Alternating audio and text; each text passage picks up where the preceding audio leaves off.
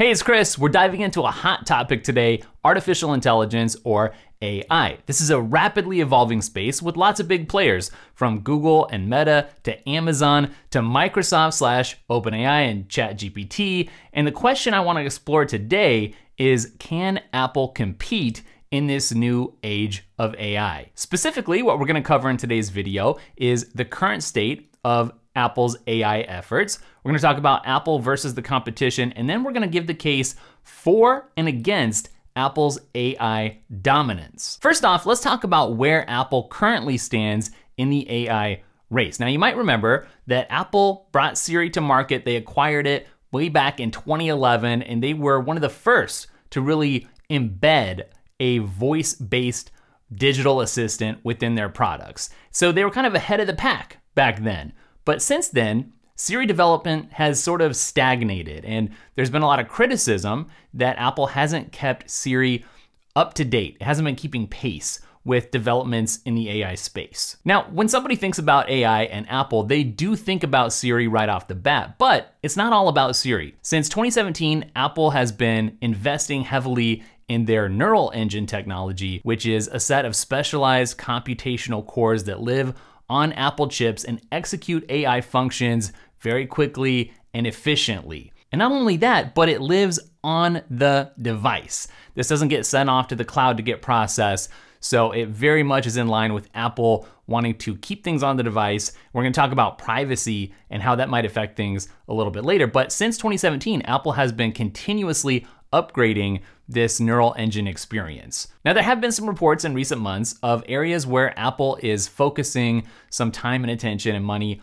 on AI developments outside of Siri, outside of the neural engine. One example would be the so-called Quartz or codenamed Quartz project, which is an AI health assistant that could be debuting at WWDC, where I'll be live and in person. So follow along on my social accounts uh, to go there with me. And another area would be Facelit technology, which is a way that Apple's using AI to better light people's faces for FaceTime calls. Now, as you're hearing me talk about Apple's AI efforts that we know about at the moment, in the back of your head, you're probably thinking about, well, what about ChatGPT? What about things like Midjourney?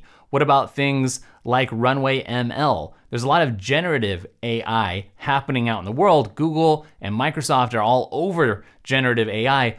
Where's Apple? So let's talk about Apple and the AI competition right now. Many of you know this, but Microsoft made a big investment in OpenAI, which is the company behind ChatGPT. ChatGPT just released an iPhone app uh, just the other day, and it's very popular. Many people are comparing ChatGPT's new plugin store to Apple's App Store. And they're saying that Apple is missing an opportunity to replicate the success that they've had in the App Store, and that ChatGPT with their plugin store is going to eat Apple's lunch in the future, and Microsoft is going to greatly benefit from that. I've already seen a lot of people using shortcuts to get around using Siri on their iPhone and having that instead interface with ChatGPT, and they're just bypassing Siri. And that says a lot about the state of AI and Siri at the moment. Now, Google, on the other hand, is very interested, making a lot of investment in AI, in machine learning, and in integrating it seamlessly with their hardware and software. So, from a consumer perspective, for people who buy phones and tablets and laptops, let's say, they look at Google and they see that Google's AI technologies will learn users' preferences, it'll adapt to their lifestyle, and offer more personalized and predictive user experience. And they think, yeah, Google seems to have an edge in the AI race, a major edge over Apple and their hardware. When people interact with Siri at the moment, Siri often provides frustrating answers or canned responses, and it just feels prehistoric compared to AI advances that we're seeing from companies like Microsoft, ChatGPT, Google, even Meta, as much as I hate saying those words. Siri's really lacking in the context awareness department. And we could see this all change overnight at WWDC. I don't know that we're gonna see that, but it's possible. But first, let's explore the case against Apple's dominance moving forward that AI competitors are bringing. It's been reported, and whenever something's reported, you don't know the actual accuracy and state of things internally at Apple, but it's been reported that there's been some internal struggle and strife and even dysfunction within Apple's internal AI teams. Some former employees have said that there's been some chaos and some problems with decision making within those AI teams, and, and that's kind of hindered Apple's development in the AI space. One article that I came across while I was researching this said that the team developing Apple's new AR VR headset was disappointed by what the Siri team brought over in terms of how to control the headset using Siri. And they were even considering developing their own voice controls to control things on the headset because the state of Siri was just so lagging compared to what they were wanting to do. On top of that, Apple has lost some key AI figures and employees uh, that have moved to other companies, companies like Google, and that could be hindering Apple's AI efforts at the moment as well. There's also been some reports that say Siri's code base has been a challenge for Apple, kind of limiting. Sounds like it's become very complex, difficult to modify, which can hamper the team's ability to introduce new features and really improve Siri's capabilities. So there is some skepticism floating around out there, especially as WWDC approaches, where people are wondering will Apple be able to compete in the AI space moving forward? This is something I've been thinking really deeply about lately. In fact, I put up a Twitter thread on how I'm dealing with AI at the moment over on my new personal Twitter account. So I'll link that up if you want to check it out. And actually, the first free update that's going to be coming to my productivity course, Learning to Be Productive, is going to focus on how to make use of AI in a productive way. How does it change the productivity landscape and being efficient? It's not as straightforward as you would think. So this is a good time to snag the productivity course and get those free updates while we still have that inflation relief pricing available, because that's temporary. But let's turn our attention to the potential case for Apple's dominance in the AI space.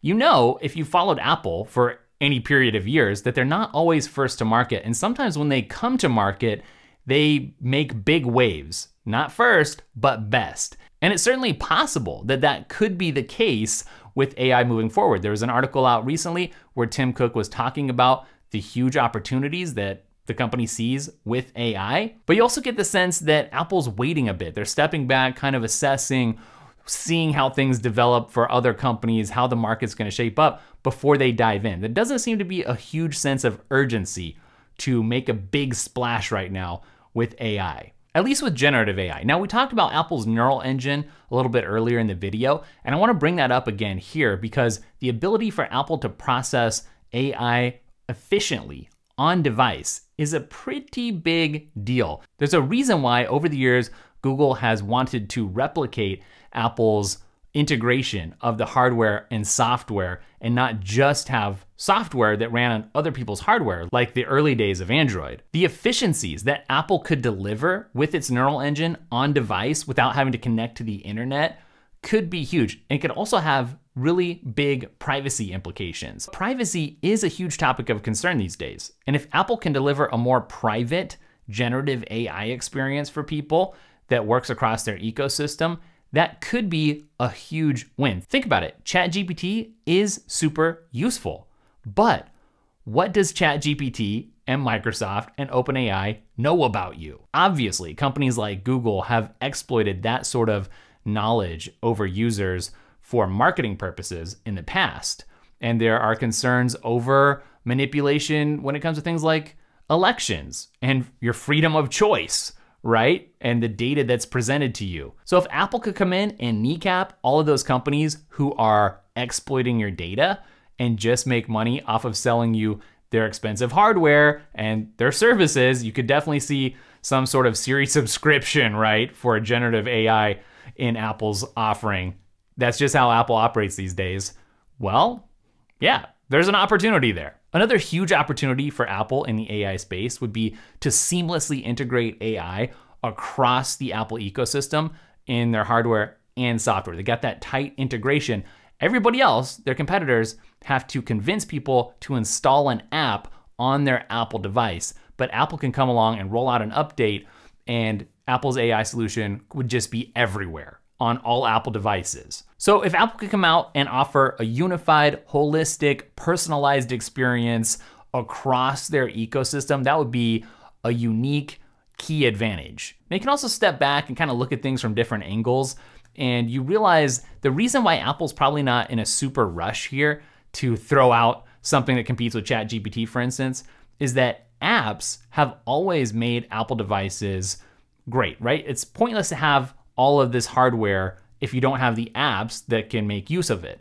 Well, developers like Adobe with Photoshop are coming out with generative fill functions. And what used to be just plain old Photoshop is now Photoshop with AI enhancements and AI capabilities. And we're probably gonna see that same thing play out across all the different apps that you've used for years. They're going to get AI enhancements. Apple might just be pretty content to just sit back and let those app developers upgrade their users experience and bake AI into the apps that they're already using and loving and relying on. And as long as people continue to buy Apple's hardware and their services, Apple's going to massively benefit from the AI wave that's crashing upon society right now, whether they do anything with Siri or not. If you want to speculate about the very distant future, I think something that people would be really interested in with Apple and AI would be an Apple AI powered humanoid robot. You already have people like Brett Adcock, whose company Figure is working on humanoid robots that are very impressive looking, that can do chores for you around the house. And also, Tesla is working on an AI bot as well. And the idea from that section of the tech industry is that people will own these or lease these robots, kind of like you do a car, and that will just be a part of your everyday life. Well, would you rather have that or would you rather have an Apple bot that has a focus on privacy? There are interesting times ahead for sure. And if you want to keep up to date on all of them, you're definitely going to want to subscribe to our newsletter. It's linked up down below, comes out every Friday. Very high open rate. People love that thing. And there's a reason. It tells you about the latest apps, services, and accessories that Apple users will want to know about without having to do any work themselves. Just arrives in the inbox. Check it out. Check out the course. You don't want to miss that pricing. And I'll catch you in the next video. Later.